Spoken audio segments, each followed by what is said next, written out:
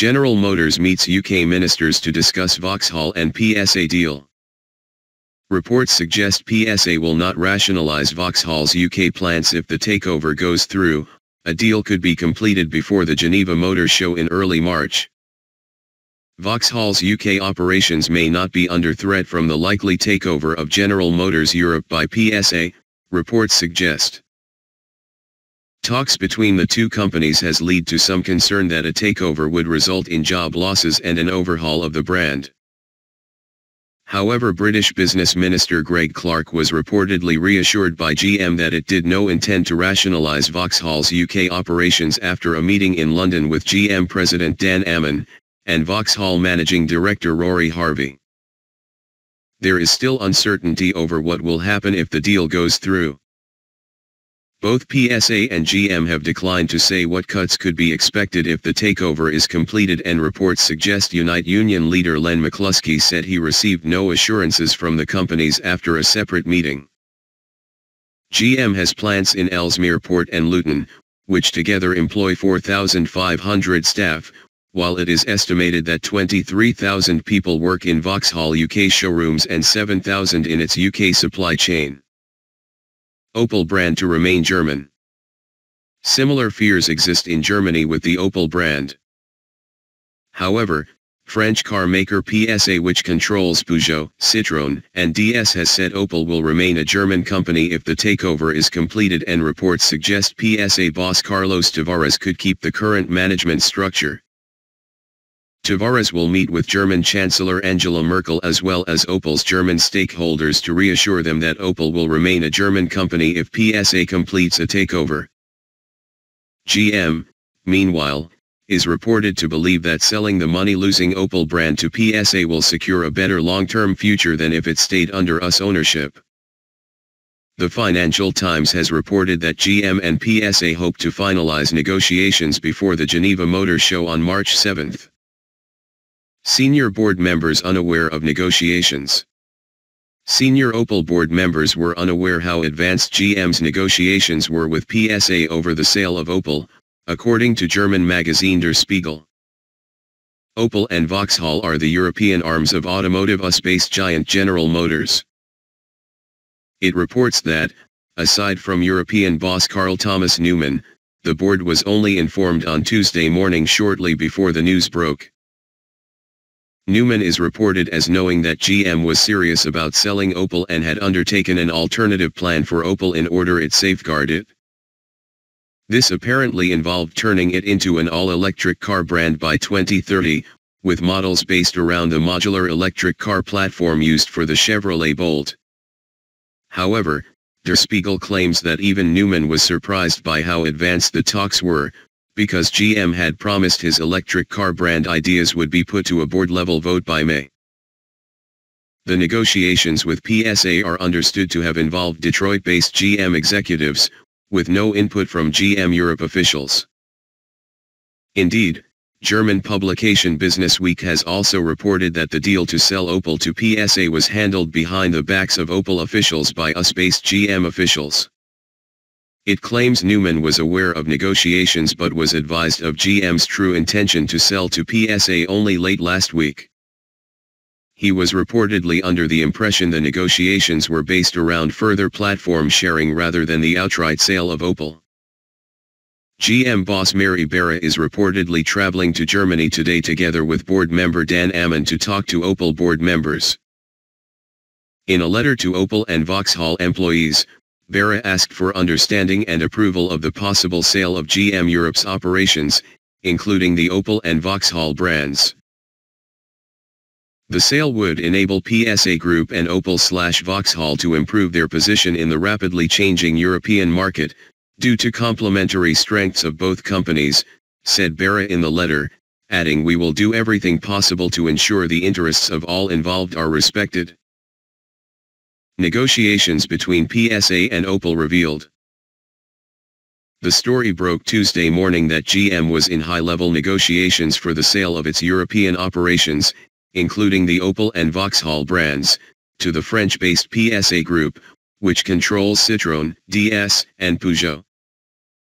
The negotiations center around plans for PSA to take a majority stake of GM's European subsidiaries Opel and Vauxhall in a deal that could have significant implications to the European automotive industry. PSA confirmed it was in direct dialogue with GM, but refrained from revealing how far the talks would go. It said in a statement, PSA Group confirms that, together with General Motors, it is exploring numerous strategic initiatives aiming at improving its profitability and operational efficiency, including a potential acquisition of Opel. There can be no assurance that an agreement will be reached.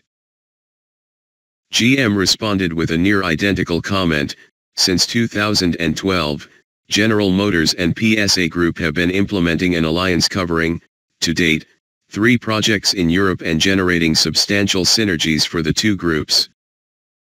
Within this framework, General Motors and PSA Group regularly examine additional expansion and cooperation possibilities, as well. PSA Group and General Motors confirm they are exploring numerous strategic initiatives aiming at improving profitability and operational efficiency, including a potential acquisition of Opel Vauxhall by PSA. There can be no assurance that an agreement will be reached. The negotiations revolve around a full merger of operations between Opel, Vauxhall, Citroën, Peugeot, and DS, and come after previous attempts to closely align the operations of the German and French car makers. GM has been particularly active in recent years in seeking a broad-based cooperation with Peugeot in a bid to cut costs and improve profitability at Opel and Vauxhall. Within the framework of their existing alliance, Opel has developed two new SUV models from existing Peugeot platforms. They are the new Crossland X, which sits on the same structure as the 2008, and the Grandland X, whose underpinnings are shared with the 3008. An even larger SUV model, conceived to replace the Zafira, is also planned, although it is based on the same in-house GMS platform as the new second-generation Insignia.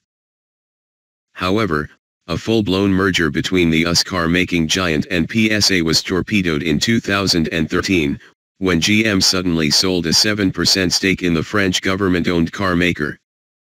Industry insiders contacted by Autocar suggest PSA's Chinese partner Dongfeng could play a decisive role, including the provision of financial assistance in the possible purchase of Opel and Vauxhall.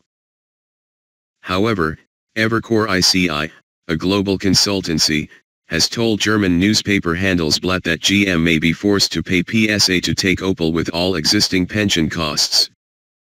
It says Opel is worth $1.1 billion without the pension costs. Confirmation of PSA's interest in acquiring Opel hints at a greater focus on the highly turbulent European market and goes against the trimming of existing manufacturing capacity and the more global-based sales strategy laid out by its boss Carlos Tavares in recent years. Only last week, Tavares announced Peugeot was set to take a stake in traditional Indian car maker Hindustan. The purchase of Opel and Vauxhall would make PSA the second biggest car maker in Europe, with potential annual European sales of more than 2.4 million and a healthy 16% market share. It would enable it to overtake Renault and place it behind only the Volkswagen Group in terms of European sales reach. In 2016, the French car maker's three brands, Peugeot, Citroën, and DS, booked 1,446,052 sales, and Opel reported sales of 979,427. By comparison, Renault's 2016 European sales totaled 1,496,394, helped by the continued success of its Dacia brand. The Volkswagen Group, with its Audi, Bentley, Bugatti, Lamborghini, Porsche, Skoda, Seat, and VW brands, pulled in 3,498,049 sales. The Vauxhall brand, purchased by GM in 1925, presently accounts for around one-fifth of Opel sales, with the UK traditionally being the largest market for the Corsa and Insignia. However, its future under the possible control of PSA raises some uncertainties. One scenario already mentioned by GM sources in discussions with Autocar is the possibility of a sweeping consolidation of Vauxhall's operations in the UK, with the brand name consigned to history Andre placed by Opel a move that was seriously considered by GM following the financial crisis of 2009 but ultimately decided against. Struggling profitability for General Motors in Europe. GM's European operations have been unprofitable for the past 16 years, with combined losses put at over $9.1 bn since 2009. The US car-making giant initially expected a return to profitability in 2016. However, a devaluation of the British pound and cooling sales in the UK following the Brexit vote is claimed to have resulted in an added $300 million of unexpected currency losses in 2016, leading to an operating loss at Opel of $257 million last year. PSA itself came close to bankruptcy in 2013 following years of mounting losses. In a company-saving measure, the Peugeot family was forced to sell 25.6% of its stake in the French car maker, with 12.8% going to the French government and a further 12.8% to Peugeot's Chinese joint venture partner, Dongfeng. Each paid more than $1.1 million for their share of the company. Shortly afterwards, PSA sought a strategic alliance with Opel with a view to joint development of a number of key platform architectures a move that led to the two establishing a close working relationship and the foundation for the buyout negotiations. Despite PSA's financial rehabilitation through the establishment of key shareholdings by the French government and Dongfeng and sweeping cost-cutting initiatives instigated by its Portuguese-born boss Tavares, PSA's grip on the European market has loosened in recent years.